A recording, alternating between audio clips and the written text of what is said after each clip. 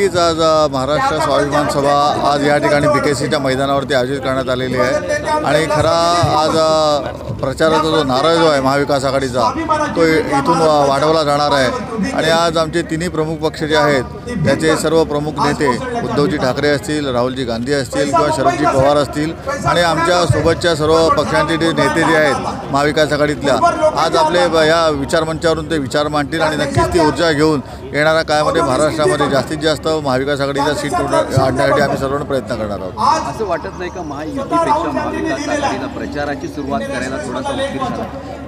आमची ज्यावेळेला लोकसभा इलेक्शन झाली त्याच्यानंतरच जो अंदाज आला होता त्याच्यानंतर महाविकास आघाडी ऑलरेडी प्रचार करायला सुरुवात झाली होती. हां उमेदवारीच्या त्या उमेदवाराबद्दलच्या संभ्रम महायुतीत आणि महाविकास आघाडी दोन्हींमध्ये शेवटपर्यंत होता. परंतु महाविकास आघाडी प्रचारामध्ये पुढे असं मला वाटतं.